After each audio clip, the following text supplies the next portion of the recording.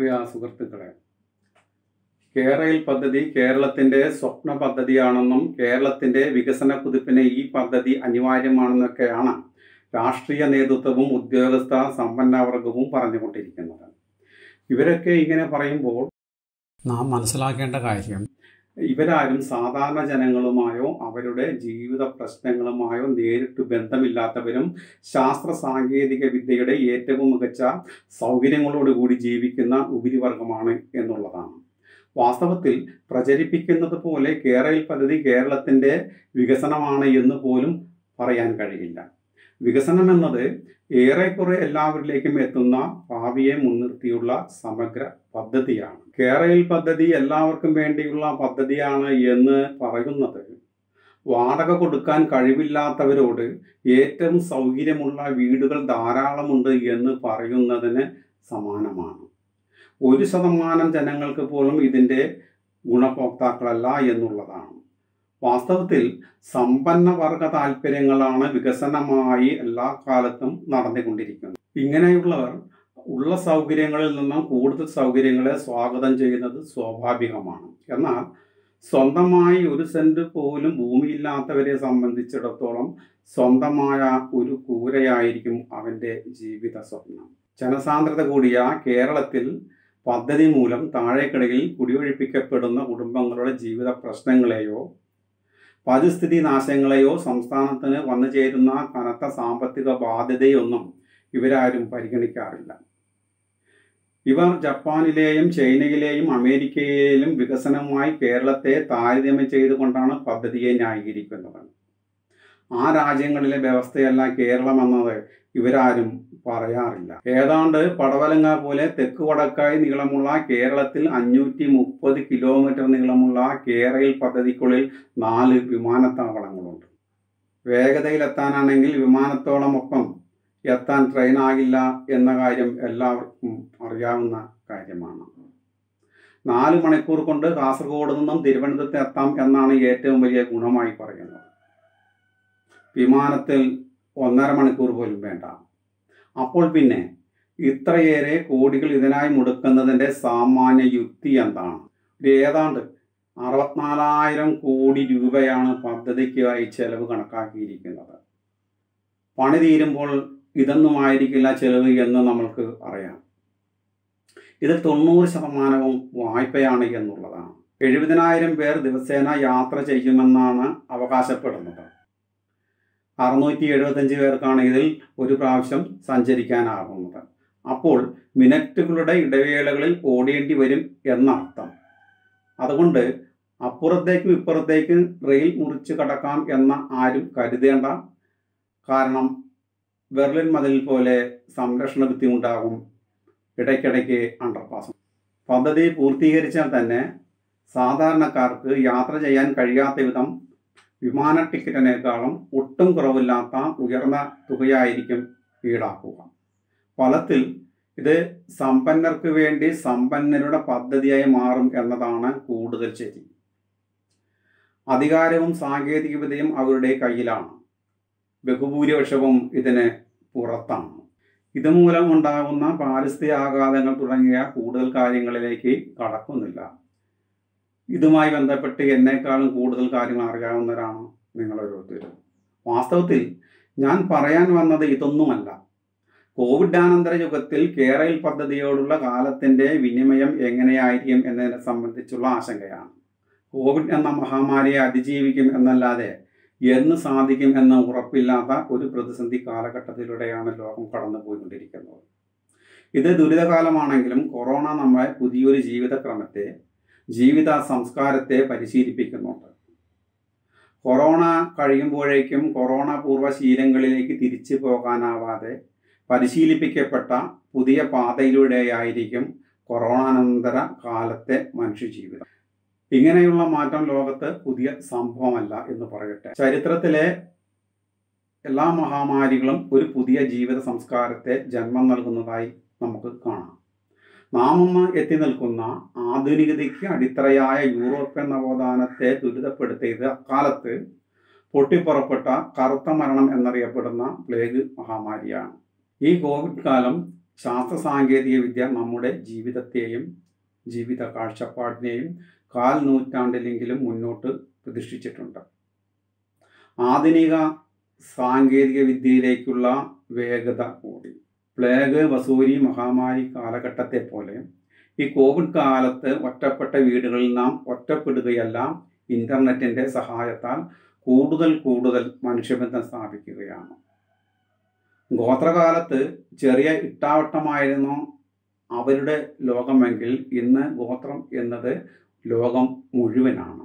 ചുരുക്കി പറഞ്ഞാൽ സാങ്കേതിക വിദ്യ മനുഷ്യർ തമ്മിലുള്ള അകലം ഇല്ലാതാക്കി. നമ്മുടെ ജീവിതത്തിന്റെ ദൈനംദിന ആവശ്യങ്ങൾ നിറവേറ്റുന്നതും രണ്ടു മനുഷ്യർ തമ്മിലും രണ്ടു സംഭവങ്ങൾ തമ്മിലുള്ള ഏറ്റവും അടുത്ത ഇടനിലക്കാരനായി ഇന്റർനെറ്റ് എന്ന് മാറി. ഇന്ന് നിങ്ങളുടെ ഏറ്റവും അടുത്ത ബന്ധു ആരാണ് എന്ന് ചോദിച്ചാൽ ഇന്റർനെറ്റാണ് ഫോണാണ് എല്ലാവരുടെയും വിദ്യാഭ്യാസം അപേക്ഷകളും ഇന്റർവ്യൂകളും ജോലിയും സുപ്രീം കോടതി വിചാരണയും ദേവാലയ സന്ദർശനവും വഴിപാടും ഓൺലൈൻ വഴിയാണ് നടന്നുകൊണ്ടിരിക്കുന്നത്. പ്രധാനമന്ത്രിയും മുഖ്യമന്ത്രിയും എത്രയോ ഉദ്ഘാടനങ്ങൾ ഇതുവഴി നിർവഹിക്കുന്നു. തമിഴ്നാട്ടിൽ ചരിത്രത്തിലാദ്യമായി ഈ ബഡ്ജറ്റ് അവതരിപ്പിച്ചു കഴിഞ്ഞു. കേരളത്തിൽ ആദ്യമായി വെർച്വൽ ഗ്രാമസഭ കൂടാൻ പോകുന്നു. ഇങ്ങനെ എല്ലാ പൊതുബന്ധങ്ങളും പ്രവർത്തനങ്ങളും സാങ്കേതിക വിദ്യയിലേക്ക് അതിവേഗം മാറിക്കൊണ്ടിരിക്കുന്നു. ചർച്ചകളും രാഷ്ട്രീയ സമ്മേളനങ്ങളും വീട്ടിൽ കൊണ്ട് കൂടുന്നു. കൊറോണയ്ക്ക് മുമ്പുണ്ടായിരുന്ന സമയം പോലും ക്ലബ് ഹൗസ് പോലുള്ള പുതിയ പുതിയ പ്ലാറ്റ്ഫോമുകൾ വന്നതുകൂടി വന്നതോടുകൂടി ഇല്ലാതെ. ഇന്നിപ്പോൾ തനിക്ക് അസാധ്യമെന്ന് പറഞ്ഞ് മാറി നിന്ന പഴയ തലമുറയും സാധാരണക്കാരായ ആളുകൾ കൂടി ഇതിന്റെ ഭാഗമായി. സാക്ഷരത എന്നത് എഴുതാനും വായിക്കാനും അറിയുക എന്നതല്ല സാങ്കേതിക വിദ്യ എത്രമാത്രം അറിയുക എന്നതിനെ കൂടി ആശ്രയിച്ചാണെന്ന് നിലനിർ അതായത് പ്രതീക്ഷിച്ചതിലും നേരത്തെ പഴയ തലമുറ ഉൾപ്പെടെയുള്ളവരെ കൊറോണ വിവര സാങ്കേതിക യുഗത്തിലേക്ക് എടുത്തുറിഞ്ഞു യാത്രകളില്ലാതെ ജീവിക്കാൻ ശീലിച്ചു ഇനിയിപ്പോൾ കൊറോണ വിമുക്ത ലോകം വന്നാലും നാം പുതിയ ശീലങ്ങൾ ഉപേക്ഷിക്കാൻ പോകുന്നില്ല. കാരണം അതാണ് സൗകര്യം. ഏറ്റവും കൂടുതൽ സമയം ലാഭിക്കാനും ചിലവ് കുറയ്ക്കാനും സാധിക്കുന്നു. ഇങ്ങനെ ജീവിതം പുനഃക്രമീകരിക്കപ്പെട്ട ലോകത്തിൽ എല്ലാ വിമർശനങ്ങളെയും മറികടന്ന് പ്രതിസന്ധികളെ തരണം ചെയ്ത് കേരയിൽ രണ്ടായിരത്തി ഇരുപത്തി അഞ്ച് ഇരുപത്തി ആറോടെ യാഥാർത്ഥ്യമായി എന്ന് കരുതുക അങ്ങനെയാണെങ്കിൽ വിവര വിശകലന യുഗത്തിൽ ജൈവ എഞ്ചിനീയറിംഗ് സാങ്കേതിക വിദ്യയുടെ യുഗത്തിൽ എത്രത്തോളം പേർക്ക് യാത്ര ആവശ്യമായി വരും എന്നുള്ളതാണ്.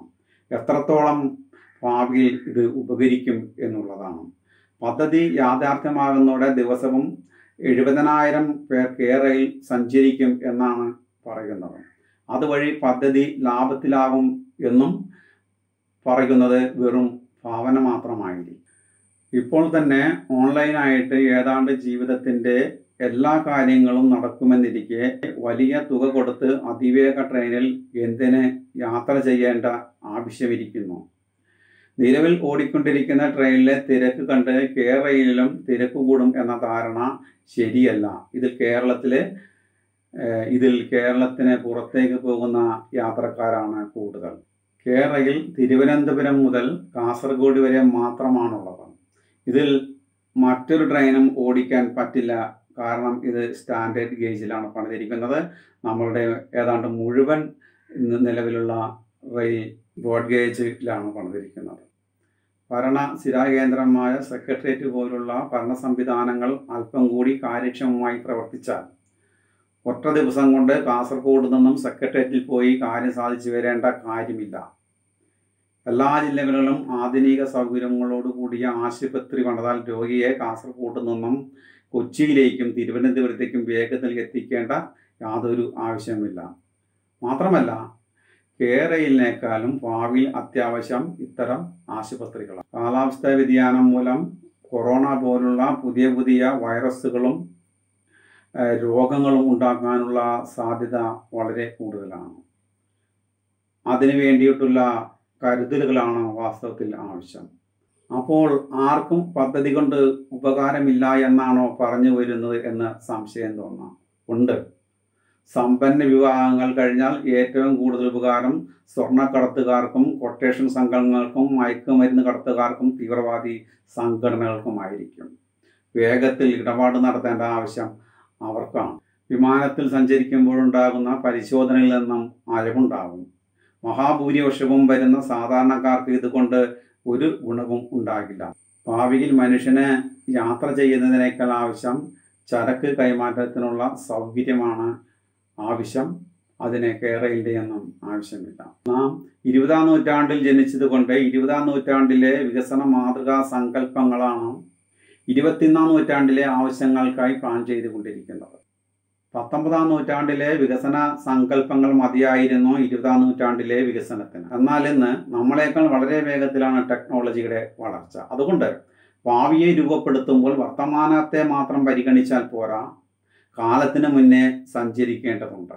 ലോകപ്രശസ്ത ചരിത്രകാരനും ചിന്തകനുമായ യുവാൽ നവ ഹരാരിയുടെ ഭാവിയെപ്പറ്റിയുള്ള നിരീക്ഷണം ഇവിടെ ശ്രദ്ധേയമാണ്.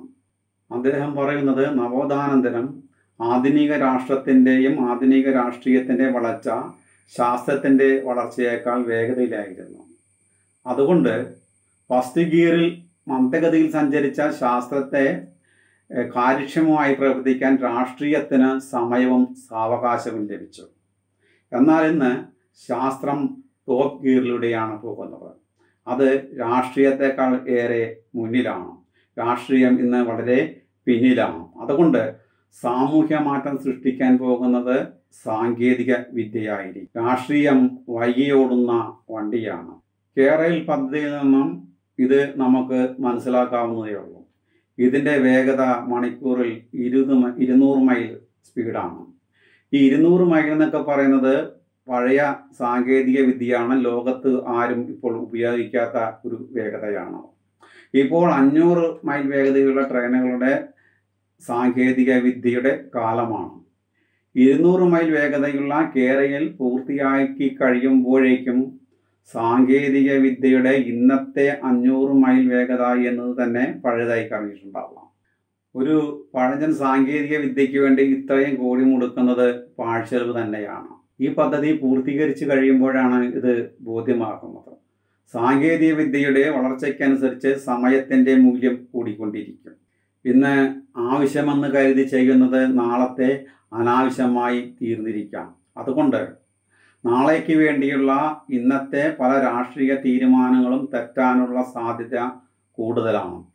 കേരളയിലെ കാര്യത്തിൽ കൂടുതൽ പ്രസക്തമാണ്.